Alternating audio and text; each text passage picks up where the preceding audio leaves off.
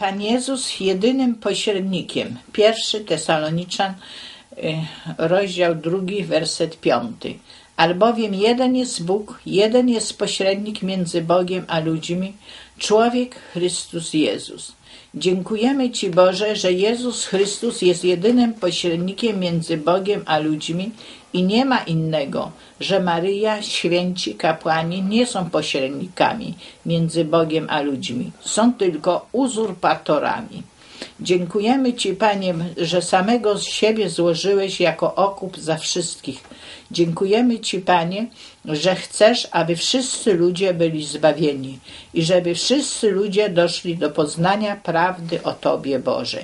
Dziękujemy Ci, Boże, że tylko w imieniu Jezusa jest zbawienie.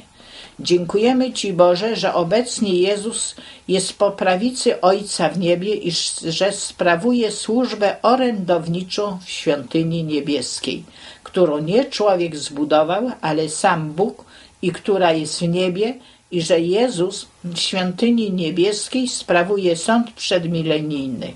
Dziękujemy Ci, Boże, że gdy zgrzeszymy, to mamy w niebie Jezusa Chrystusa, który odpuszcza grzechy.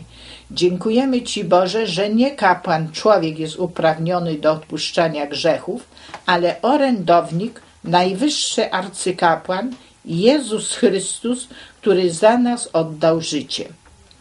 Dziękujemy Ci, Boże, że Jezus jest ubłaganiem za grzechy nasze i jest ubłaganiem za grzechy całego świata.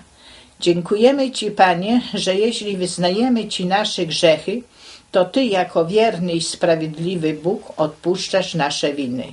Pragnimy czcić Jezusa, bo za nas zmarł i Jemu posłuszni we wszystkim być i wyznać grzechy bezpośrednio Jezusowi, bo On jest wiecznym kapłanem, jedynym pośrednikiem.